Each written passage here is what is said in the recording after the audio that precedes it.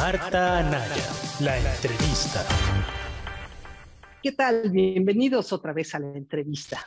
Hoy tenemos como invitado a J. Jesús Lentos, periodista y escritor, que fíjense nada más, tuvo no sé si llamarle fortuna, pero el hecho es que le tocó convivir en el penal de Puente Grande, nada menos que con Rafael Caro Quintero, a quien acaban de detener.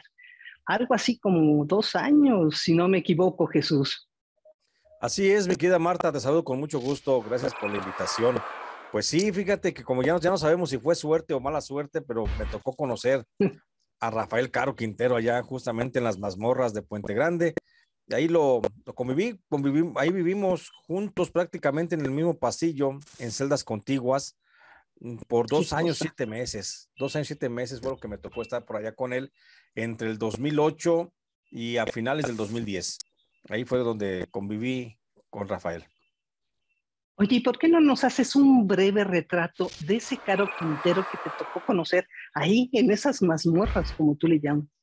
Pues yo creo que, bueno, el retrato eh, hace muchos años, pero aún, aún, sigue muy firme en la memoria porque son de esas cosas que no puedes olvidar. Rafael Caro Quintero es una leyenda y yo cuando lo conocí, pues me impacta mucho el saber y el saberlo de en persona, ya yo ya sabía quién era de, de por leídas y por vistos en los medios y todo eso, pero verlo sí impacta. Es un personaje físicamente, es delgado. Hoy lo vi yo en las fotografías que salen de su detención. Bueno, yo lo veo un poquito subido de peso incluso, pero en la cárcel estaba por demás delgado, pero aún, pero aún así muy, muy este, musculoso, delgado pero musculoso.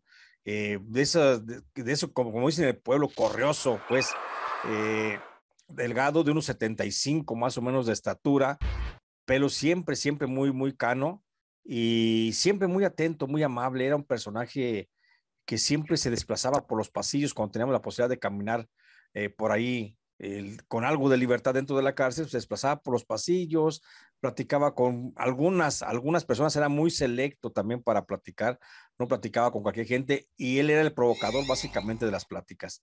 No le gustaba que le provocaran la plática, él esperaba que aquel que él quisiera platicar realmente con aquella persona y se, se le gustaba sentarse mucho al patio, al sol, en una, en una banca, una de las cuatro bancas que había en el patio de aquel módulo, del módulo 1 de Puente Grande, pues ahí se sentaba al sol y ahí pasaba el, la poca, el poco tiempo que nos dejaban estar, siempre con el pie izquierdo sobre el derecho cruzado y con sus manos sobre las rodillas, muy pensativo, era un hombre que siempre se sumía en sus propios pensamientos, como expiando sus demonios o acariciando sus pasiones, no sé cuál sería de todo, pero siempre se sumía en su plática y así permanecía hasta que él decidía en qué momento cortaba aquellas aquellos lapsos de meditación y entonces ya él buscaba la plática con alguien más. Oye Jesús, fíjate, tú haces referencia a algo que a mí también me llamó muchísimo la atención, el contraste entre las dos fotografías.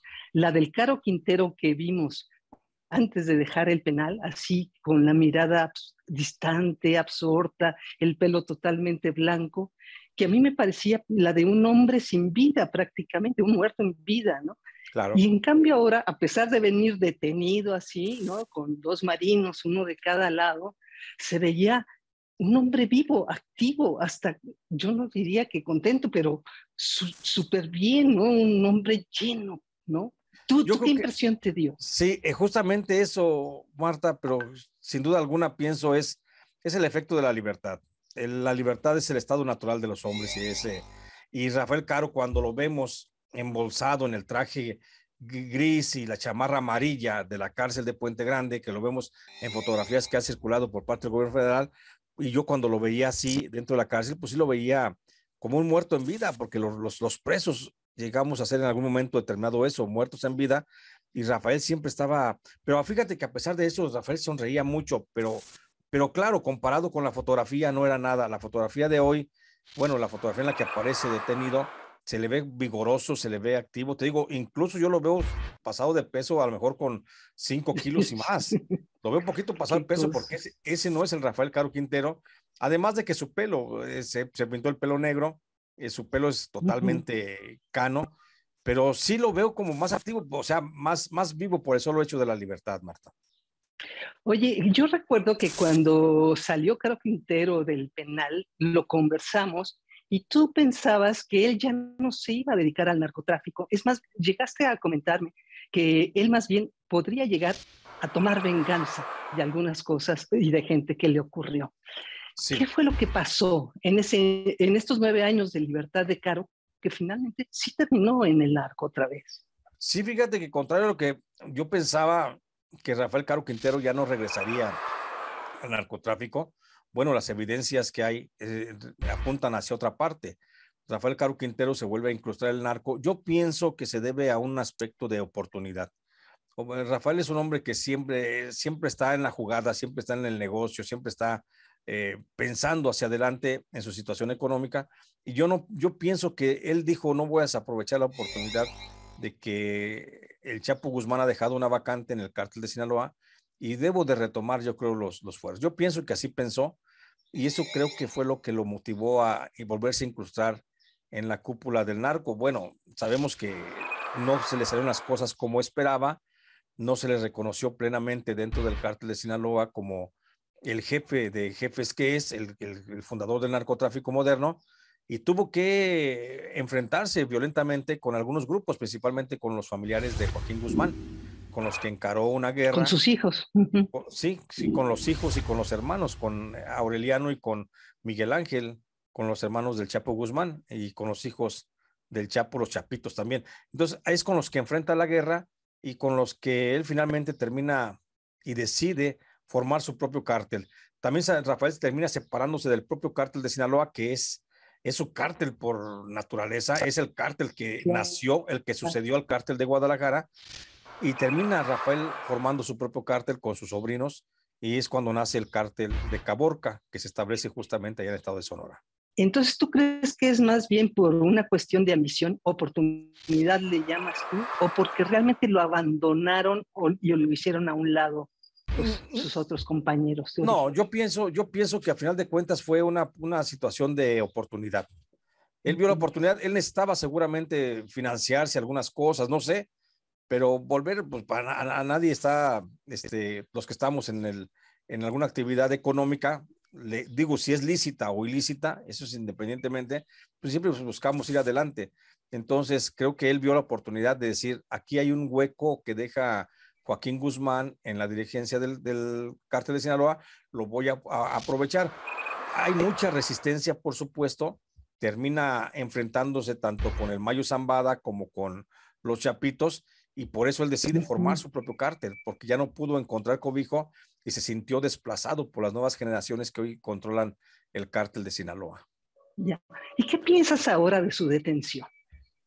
Yo creo que, bueno, mira, la detención llega en un momento mm, político muy adecuado para el actual régimen.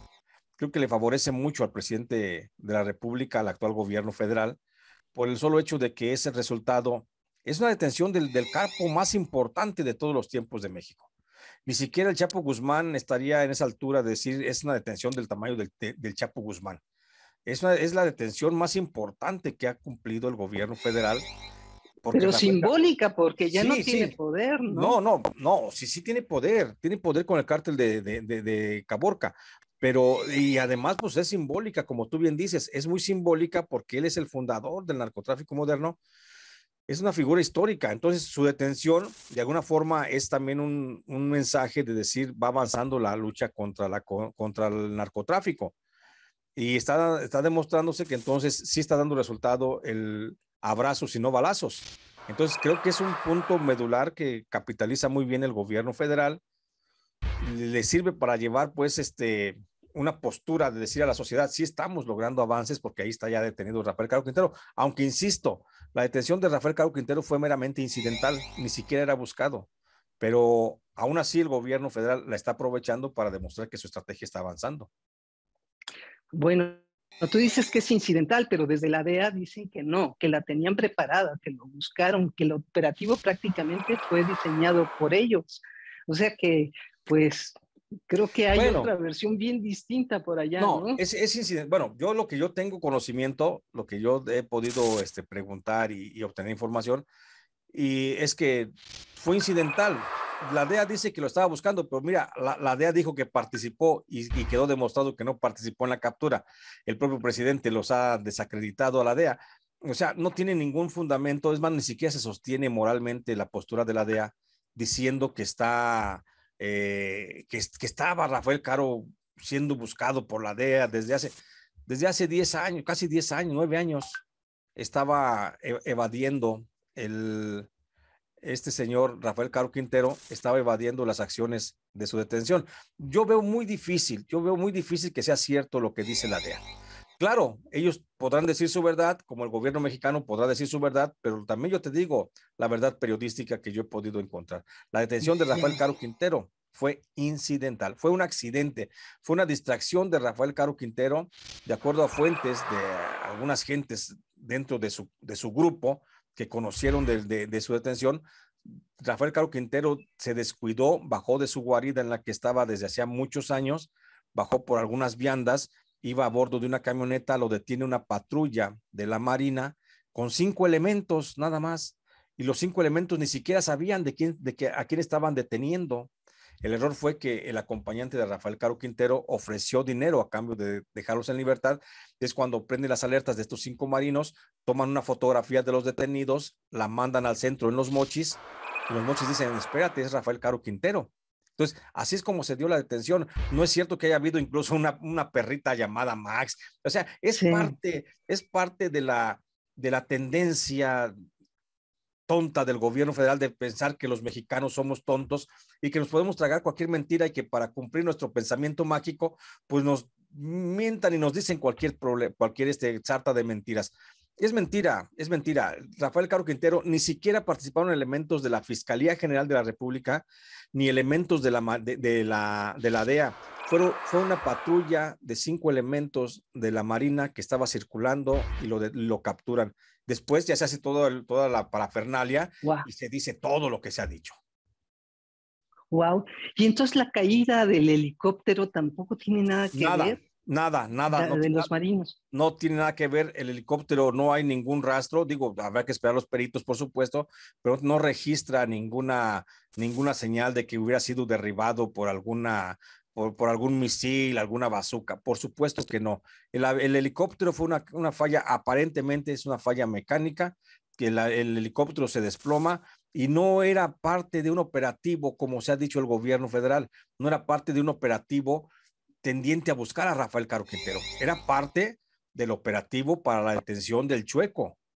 El chueco, el que asesinó a, los, a los jesuitas y a los de allá de la sierra, Acuérdate que hay, hay desplegados mil elementos de la Marina y del Ejército y de la, eh, de la Guardia Nacional desplegados en esa zona buscando al chueco. Entonces está plagada la zona de la Sierra, de la Sierra Norte de Chihuahua, está plagada de, no plagada, está llena, está llena de, de elementos de la Marina que están haciendo sus labores de recorrido buscando al chueco. Y una de esas patrullas que recorría es justamente la que detuvo a Rafael Caro Quintero, porque además déjame decirte, de acuerdo a la versión del interior del cártel de Sinaloa, resulta que la detención fue en Huachochi, la detención de Rafael Caro Quintero, y que no fue en Choice, en ah, Huachochi, Chihuahua, en lugar de Choice. Entonces, el gobierno dice, fue en Choice, fue en Choice, eh, Sinaloa. Eh, hay, hay las versiones, te digo, que yo tengo, que les creo, por supuesto, porque nunca me han, me han mentido en ese sentido, eh, fue detenido en Huachochi, a, tres, a 600 kilómetros de distancia. No, pues totalmente distinta la versión, increíble. Oye, Jesús, y tú que conoces bien a Caro Quintero, eh, ¿tú crees que si llega a darse la extradición, él hable, denuncie, cuente cosas? Sin duda alguna, Rafael Caro Quintero es un hombre que no tiene nada que perder, bueno, no tiene nada que, ya, ya no tiene nada que perder lo único que está en riesgo es, casi nada, es su vida, pero no tiene nada que perder, me refiero en, el aspecto de cuidar lealtades con algunos otros miembros del cártel. Rafael Caro Quintero desde hace mucho tiempo es el gran narcotraficante, pero está solo dentro del narcotráfico.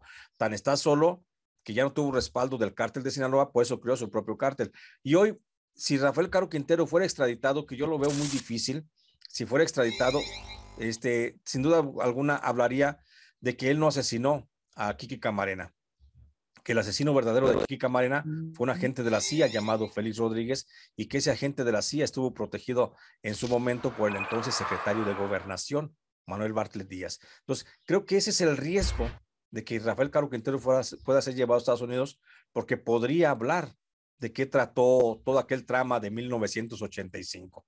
Entonces, sí va a hablar, por supuesto, pero te digo, veo muy difícil la posibilidad de que se vaya Rafael Caro Quintero a Estados Unidos. Primero porque también la legislación mexicana, Marta, establece que no puede ser entregado un mexicano a un gobierno extranjero para ser juzgado en, en aquel territorio si existe la posibilidad de que se le dicte la pena de muerte y Rafael Caro Quintero podría estar en esa posibilidad, en ese supuesto, y ese seguramente va a ser el principal argumento para que va a interponer en sus amparos para que no se le lleve a Estados Unidos. Sí, dicen que incluso el tema puede llegar a la Suprema Corte, o sea, sí se ve complicado, ¿no? Muy, yo pienso que se ve muy complicado, no, no, es tan fácil como, como lo han querido referir algunos eh, periodistas de ahí de la Ciudad de México, señalando que ya Rafael Caro Quintero tenía un pie en la frontera, que ya estaba en Ciudad Juárez y que nada más estaba esperando que fueran por él los agentes de la DEA. No, no, no, está muy complicado el asunto. Además, acuérdate, Marta, son 28 años los que se ha defendido Rafael Caro Quintero de la extradición. Son 28 años en los que el gobierno de Estados Unidos no les ha podido, no le ha podido demostrar a la autoridad mexicana que tiene la, el derecho de llevárselo a Estados Unidos. Y si durante 28 años Rafael Caro se pudo defender de la extradición, lo va a seguir haciendo sin mayor problema aunque siga, aunque permanezca detenido en una cárcel de máxima seguridad, como es Almoloya, donde actualmente está, ahí va a continuar, va a continuar. Rafael Caro Quintero podría morir en prisión, sin duda alguna, pero les ganaría, a final de cuentas, a Estados Unidos el no ir para allá. Y sobre todo porque él asegura no haber matado a Filipe Camarena. Ya, el personaje que siempre ha estado en entredicho y sale y vuelve a salir, pues es Manuel Bartlett.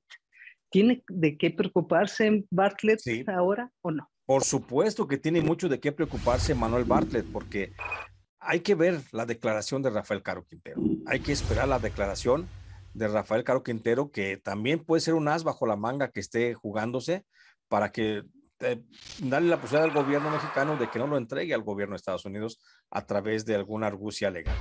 Pero Bartlett tiene mucho de qué preocuparse porque acuérdate que Bartlett eh, fue agente de la CIA de, durante su gestión como secretario de gobernación. Incluso Félix eh, Rodríguez, el asesino de Kiki Camarena, era el agente que estaba por encima, el que le daba instrucciones al secretario de gobernación. Hay mucho, hay mucho ahí de que se diga, hay muchos informes de este señor, de Manuel Bartlett, eh, gestionando ante la CIA acciones para el narcotráfico en México. Creo que ahí, se, ahí se, está muy claro. Si no, ¿Por qué Estados Unidos le revocó la visa en algún momento a Manuel Bartlett? ¿Por qué Manuel Bartlett ni siquiera se para a 100 kilómetros de distancia de la frontera con Estados Unidos? Eh, Manuel Bartlett sabe que si pisa solo norteamericano no regresa, porque justamente tiene ese pendiente con el gobierno de Estados Unidos. Entonces, sí tiene de mucho de qué preocuparse. Y esto, Marta, es un coletazo que seguramente podría resentir la administración del presidente López Obrador solo por el hecho de que López Obrador ha defendido mucho a Manuel, a Manuel Bartlett Díaz como, y lo ha señalado como un funcionario honesto. Y entonces creo que eso podría darle también al traste políticamente a este gobierno. Y hablando de personajes a los que defiende Andrés Manuel López Obrador, nuestro presidente, ¿por qué no nos hablas un poquito también de este otro personaje del que acabas de escribir?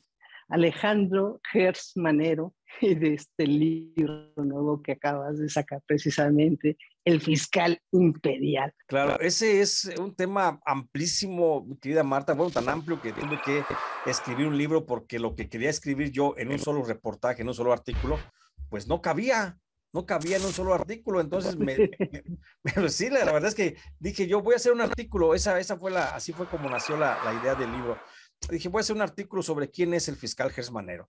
Y entonces dije, no, pues me puse a escribir. La verdad es que comencé a ver, a ver, a ver, a ver. Y dije, a ver, ya llevo como 20 páginas y, no, no, no, comienzo todavía. Entonces necesito irme a fondo y me fui, me puse a investigar. Lo primero que encuentro es que no encuentro nada. Lo primero que encuentro es que no hay fuentes informativas abiertas, públicas abiertas, que nos hablen del fiscal. Y eso para mí es sumamente extraño. Puedes encontrar en fuentes públicas abiertas informes de, López Obrador desde niño, quién era López Obrador, de cualquier personaje, cualquier persona puedes encontrar en fuentes públicas abiertas sus infancias, sus inicios, pero hablar de Gers Manero, lo primero que encuentras es que te topas con pared. Y entonces, como es un personaje oscuro, pues llama más la atención.